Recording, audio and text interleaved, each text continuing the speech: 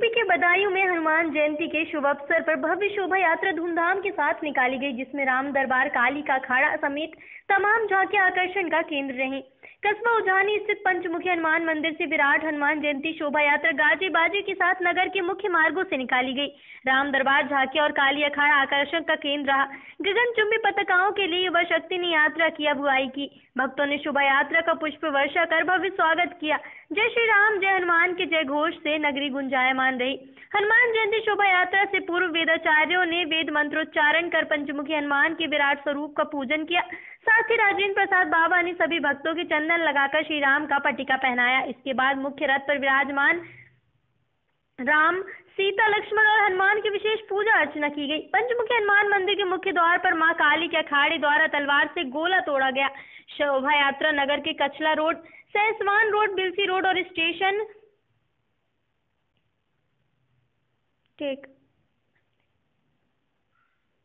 और station road होती हुई पुनः पंचमुखी हनुमान मंदिर पहुँची। माँ काली, माँ दुर्गा, राम, सीता, लक्ष्मण और हनुमान के रूप में सजे बच्चे आकर्षण का केंद्र है।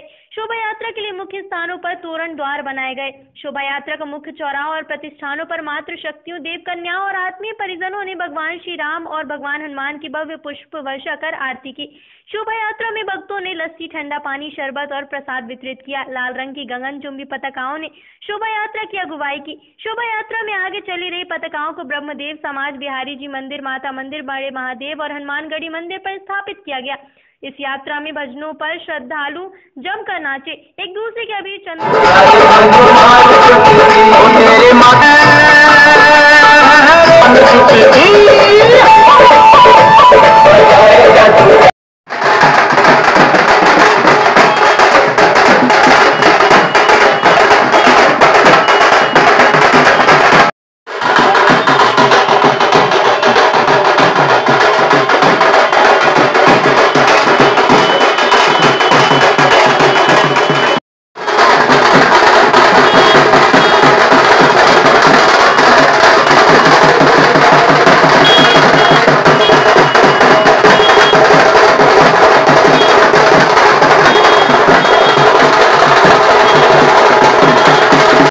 आपका नाम क्या है?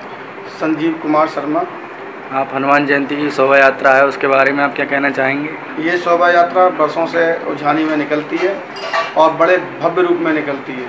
और यहाँ जनपद के अलावा अन्य ज़िलों की झांकियाँ भी इस यात्रा में शामिल होती हैं।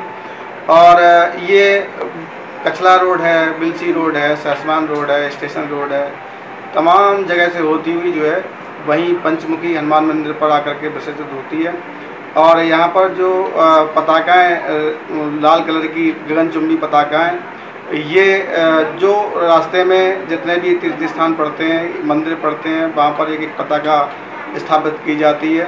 और उसके बाद में झांकियों का विभिन्न प्रतिष्ठानों पर, मुख्य द्वारों पर श्रद्धालुओं द्वारा भव्य स्वागत होता है, पुष्प वर्षा करके। और, जलपान और जगह जगह पानी, शरबत ये सब व्यवस्थाएँ श्रद्धालुओं द्वारा की जाती हैं। और आज ये भव्य शोभा यात्रा, हनुमान जी की जो शोभा यात्रा है, वो आज भव्य रूप में निकल रही है। और जिसमें प्रशासन की ओर से भी सहयोग प्रदान किया गया है। और युवा शक्ति ने भी बड़ा अनुशासित ढंग से ये कलश यात्रा निकलवाने में सहयोग प्रदान किया